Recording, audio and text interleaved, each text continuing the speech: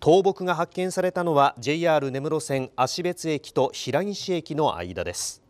今日午前4時ごろ除雪作業を行っていた作業員が道路脇の木が倒れ軌道内に入り込んでいるのを見つけました。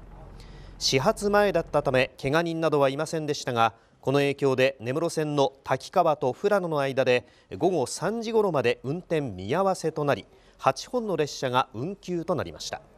JR 北海道によると雪の影響で木が倒れた可能性もあるということです。